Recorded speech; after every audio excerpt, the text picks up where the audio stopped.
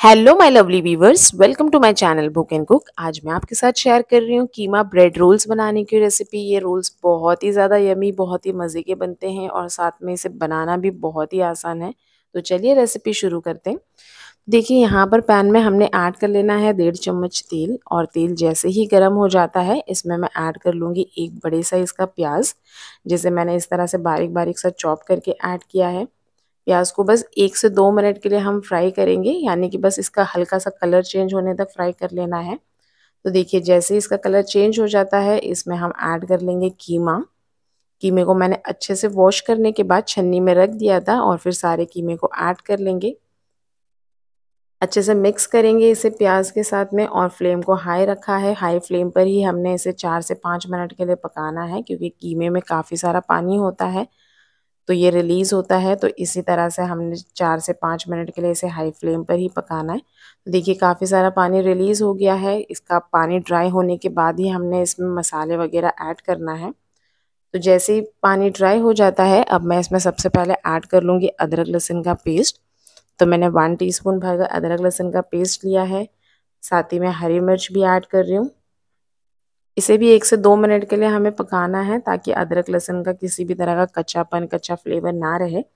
Mix कर लिया है अच्छे से। अब हमने इसमें ऐड कर लेना है बाकी के मसाले, जिसमें मैंने लिया है वन टीस्पून नमक one teaspoon chilli flakes half teaspoon चाट मसाला हाफ़ टी स्पून गर्म मसाला और वन टीस्पून लिया है धनिया पाउडर सारे ही मसालों को इसमें ऐड कर लेंगे। और फिर इसे अच्छे से मिक्स कर लीजिए ताकि सारे ही मसाले अच्छी तरह कंबाइन हो जाए और जो कीमा हमने बनाया है, वो भी पूरी तरह से कुक हो जाए, पूरी तरह से गल जाए और मसालों के भी किसी भी तरह की कच्चापन ना रहे। तो देखिए, हमने मसालों को भी अच्छे से भून लिया है, कीमा भी पक चुका है। अब फ्लेम को ऑफ़ कर देना है और इसमें हम ऐड कर लेंगे हरा धनिया। तो टोटल कीमा सात से आठ मिनट में अच्छे से कुक हो जाता है, क्योंकि ये बहुत छोटे छोटे से पीसेस होते हैं तो आसानी से गल जाता है। हरा धनिया ऐड कर दिया, फिलिंग रेडी है, इसे साइड में रखते हैं और यहाँ हमने लेने हैं कुछ ब्रेड के स्लाइसेस। तो इस रेसिपी के लिए आप फ्रेश ब्रेड का ही इस्तेमाल करें, इससे आपके रोल्स बहुत अच्छे बनेंगे। इन एजेस को हम कट करके निकाल लेंगे। आप चाहें तो इन ब्रेड रोल्स को एजेस के साथ भी बना सकते हैं, लेकिन मैं यहाँ इनके एजेस निकाल कर हटा देती हूँ। सारे ही ब्रेड के स्लाइसेस को इसी तरह से हमने ये सारे एजेस को कट करके निकाल लेना है। तो देखिए, यहाँ पर मैंने ये कुछ ब्रेड्स को इस तरह से इनके एजेस को हटा लिया है। अब चलते हैं नेक्स्ट प्रोसेस में। तो ब्रेड रोल्स को कोट करने के लिए हमें अंडा चाहिए होगा तो यहाँ मैं दो अंडे का इस्तेमाल कर रही हूँ। अंडे को इसमें बोल में ऐड कर लेना है। फिर इसमें ऐड कर दूँगी थोड़ा सा ब्लैक पेपर पाउडर थोड़ा सा नमक वन टीस्पून ऐड करेंगे चिली फ्लेक्स और थोड़ा सा हरा धनिया भी ऐड कर रही हूँ। अच्छे से मिला लेंगे, अंडे को अच्छे से फीट लीजिए। ये भी रेडी हो गया, इसे साइड में रख देते हैं। अब लेना है एक बोल जिसमें हमने पानी लिया हुआ है। एक एक ब्रेड के स्लाइसेस को इस तरह से, बस कुछ ही सेकंड्स के लिए इसमें डिप करना है और इसके सारे ही पानी को इस तरह से स्क्वीज़ कर लेना है। ब्रेड में से सारे पानी को इस तरह से निचोड़ कर निकाल लेना है। तो देखिए ब्रेड का स्लाइस काफ़ी सॉफ्ट सा हो जाता है और फिर इसके सेंटर में हमने रख देनी है एक से डेढ़ चम्मच के बराबर कीमे की फिलिंग और फिर इसे पैक कर लीजिए बिल्कुल रोल की तरह। तो ये बहुत आसानी से स्टिक हो जाते हैं।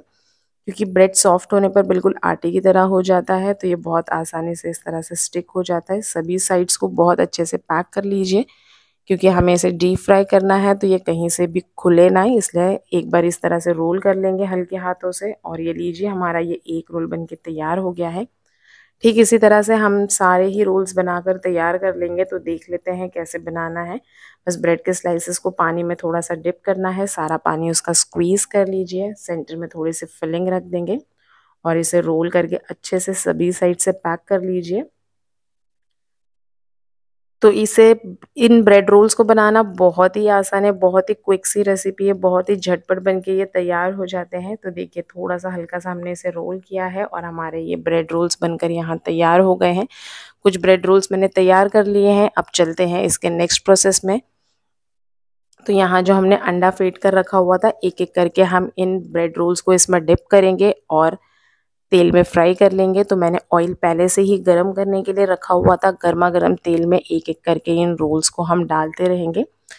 तो आप चाहे तो इन ब्रेड रोल्स को बिना अंडे की कोटिंग से भी बना सकते हैं। डायरेक्टली आप इसे फ्राई कर लीजिए। और अगर आप इसके ऊपर की लेयर थोड़ी सी क्रिस्प चाहते हैं तो आप ऊपर ब्रेड क्रम्स लगा कर भी इसे बना सकते हैं।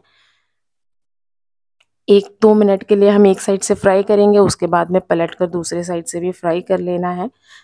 बस हमें इसे बहुत ज़्यादा कुक नहीं करना है, क्योंकि अंदर जो हमने कीमे की फिलिंग ऐड की है, वो ऑलरेडी कुकड है तो बस इस पर एक अच्छा सा कलर आने तक ही हमने इसे फ्राई कर लेना है। तो बस दो से तीन मिनट में इस पर एक बहुत ही अच्छा सा खूबसूरत कलर आ चुका है।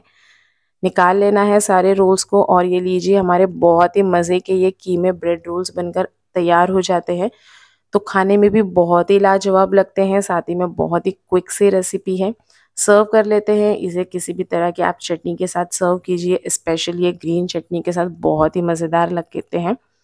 आप भी इन ब्रेड रोल्स को ज़रूर ट्राई कीजिए। उम्मीद करती हूँ आपको ये रेसिपी बहुत अच्छी लगेगी और अगर आपको मेरी ये रेसिपी अच्छी लगी है तो वीडियो को लाइक कीजिए चैनल को सब्सक्राइब कीजिए।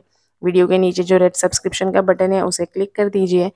फिर मिलते हैं किसी नई रेसिपी के साथ। Till that time bye bye and take care